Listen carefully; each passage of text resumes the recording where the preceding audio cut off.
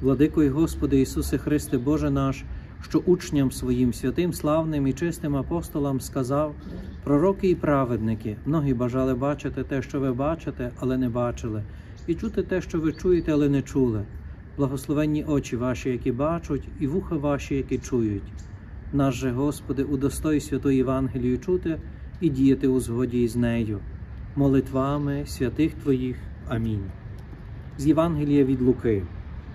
Одного разу увійшов Ісус до човна зі своїми учнями і сказав їм: Переплиньмо на той бік озера, і відплили. Як вони плили, він заснув. Тим часом зірвалася буря з вітром над озером, і їх почало заливати, і вони були в небезпеці. Приступивши до нього, вони збудили його і кажуть: наставнику, наставнику, ми гинемо.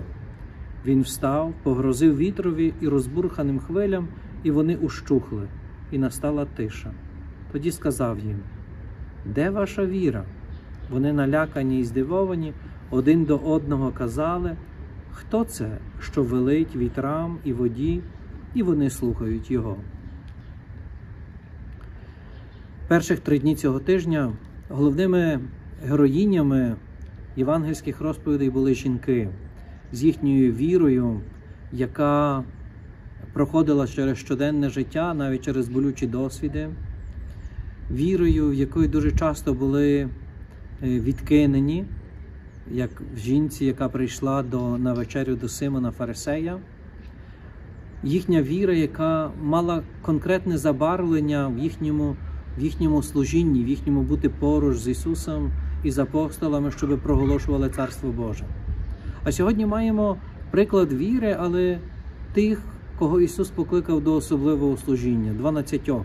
Неначе е, ці перші три дні нам показували, як необхідними були жінки, як необхідними були інші учні Ісуса для того, щоб 12 апостолів, тих, тих котрих Ісус залишає проголошувати Слово Боже, могли успішно виконувати свою місію.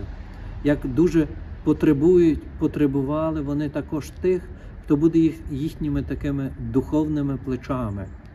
В сьогоднішній Євангелії Ісус перепливає в човні, ця історія є знана вже з інших синоптичних Євангелій, і після втоми дня Ісус відпочиває. Це учні дозволили йому відпочивати. Якщо всі вони працювали веслами, веслували для того, щоб приплисти на іншу сторону своєму учителю, тому трактували його по-особливому, дозволили відпочивати, дозволили не, не працювати разом із ними. Отже, е, мали особливу також повагу до учителя, особливе визнання. Але цікаво, що в моменті, коли приходить буря, вони перші, які будять Ісуса з запитанням наставнику, тобто учителю, тобі байдуже, що ми гинемо. Наставнику ми гинемо, тобто констатують факт того, що буря веде їх е, веде їх до смерті, веде їх до до досвіду втрати їхнього особистого життя.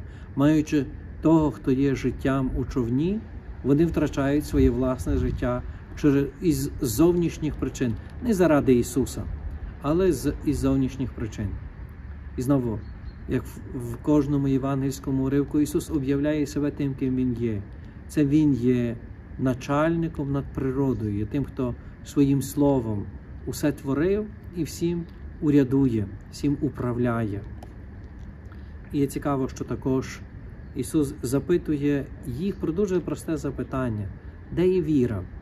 Де є ваша віра? Чому вона не така, як тієї жінки, яка прийшла мивати йому ноги і тим самим отримали прощення, віра тієї матері, яка втратила все і свого сина, залишається сама і довіряє і уповає тільки Богові, бо більше немає від кого отримати допомоги. Де є ваша віра? Або якою є ваша віра? Погляньте, якою вона є. І це запитання збуджує подив у учнів. Хто він є насправді таким? Цей наш учитель, який проповідує, який проголошує, відпускає гріхи, зціляє, повертає до життя. Хто він є такий, що йому навіть кориться вітер і буря?